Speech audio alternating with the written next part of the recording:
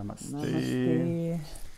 Estamos aqui neste mini curso do atendimento de cura energética das crenças.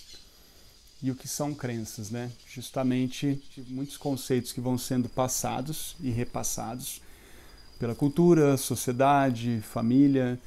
E como a gente já está estudando muitas dessas questões que a gente está falando, né, de sensações e, e, e mecanismos né, primitivos de sobrevivência, essas crenças, elas também, se a gente for a fundo e começar a destrinchar, que é o que a gente sempre estimula vocês a fazer, né, não só colocar assim, ah, tenho essa crença, tira da minha vida, né? A gente é, não vai ser completo o processo. Então, muito importante, já que a gente está nesse pacote, né, nesse conjunto que está trazendo cada um desses aspectos da nossa funcionamento da mente e tudo mais, é, se a gente for perceber, essas crenças elas estão todas conectadas com, com todos esses mecanismos, né? Então, a partir daquilo que a gente observa que funciona ou não funciona, este grupo de pessoas que já constatou que aquela é a melhor forma de da gente se organizar e que aquela é um, é um caminho, é um único caminho, né? É, para se ter o sucesso ou alcançar determinados objetivos, você constrói uma crença e aquilo vai sendo reproduzido. Só que a gente acaba não usando uma função nossa muito importante que é desse discernimento para poder distinguir e conseguir sair. A gente simplesmente segue. Então a gente vai é, alimentando aquele processo de rebanho, né? Se aqui deu certo, a gente vai, nem olha, fecha o olho e vai e tá tudo certo. Só que também é uma limitação muito grande para nossa experiência no potencial. Então, as crenças adquiridas são aquelas que a gente vai criando constatação com base na nossa experiência. Então, é, ah, quando eu dou risada do meu amiguinho, ele me bate. É uma crença que eu adquiri, porque quando eu dei risada, ele me bateu. Então eu vou sempre achar que rir da cara do outro vai fazer ele bater em mim. Eu deixo lá, nesse meu registro, que também envolve todo o subconsciente. É, então, crenças adquiridas é isso. Eu vou estabelecendo uma certeza de que se eu fizer de uma forma, ou fizer de outra forma, ou falar assim, ou fizer assado, ou pessoas que fazem isso, pessoas que fazem aquilo, são assim com base na minha experiência. Então eu, eu cristalizo, eu acredito que então todas as pessoas que são baixinhas são assim, todas as pessoas são altas assado, que o bonito é ser assim, que o feio é, é, é daquela forma é, que as reações das pessoas são iguais, né? Se eu faço alguma coisa, todo mundo reage da mesma forma. Eu não consigo viver a minha experiência como ela é. Eu não consigo ir para a experiência de, com uma neutralidade de entender que eu não conheço nada daquela pessoa e que ela pode reagir de várias maneiras e não da maneira como eu acho, como eu sinto que ela vai reagir por conta de uma crença que eu estabeleci. Então, são crenças adquiridas. Agora, a gente tem crenças herdadas, que são aquelas que são impostas pela sociedade, aquelas que são impostas pela educação, pela família, né?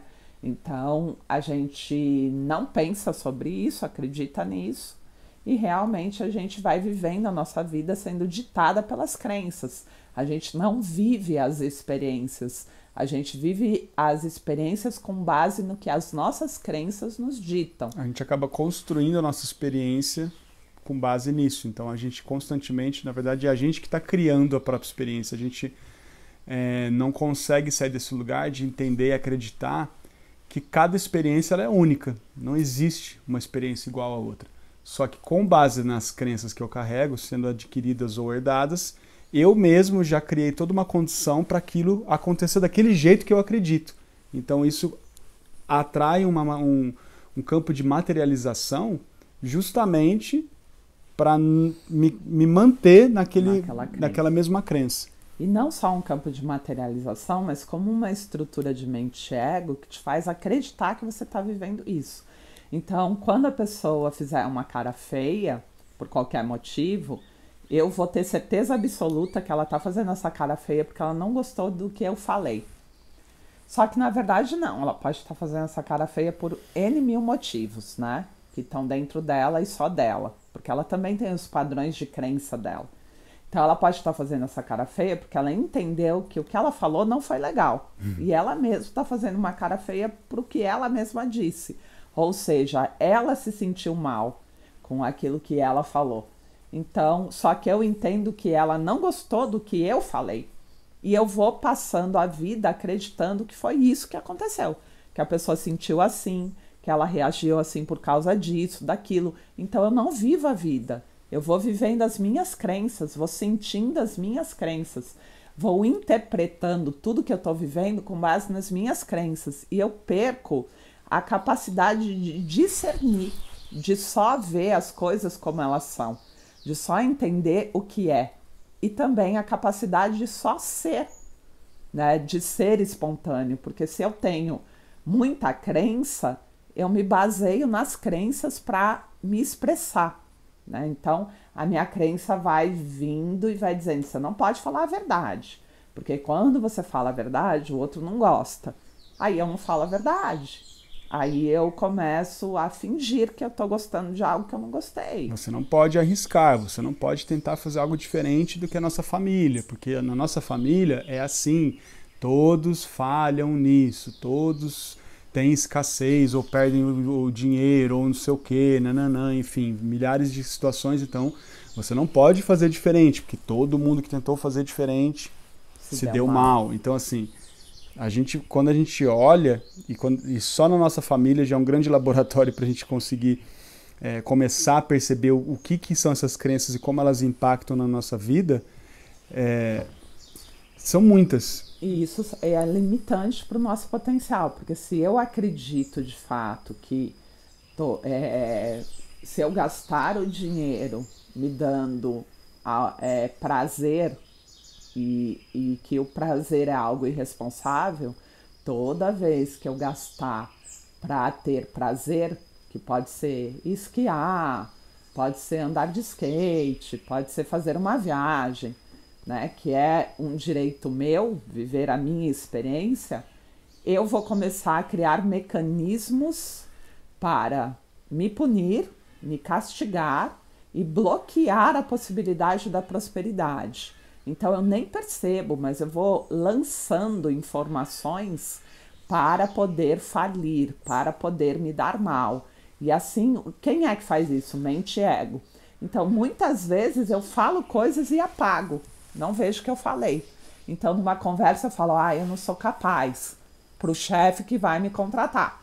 Entendeu? E aí o que, que acaba acontecendo? Eu não sou contratada. Ah, isso não é para mim. Eu não consigo Ai, fazer isso. Eu não sei fazer. Ah, eu tenho limitações. O que, quem é que está definindo isso? Suas crenças.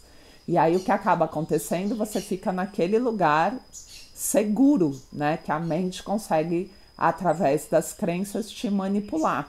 Então não saio do, da, da, do mesmo circuito de experiência.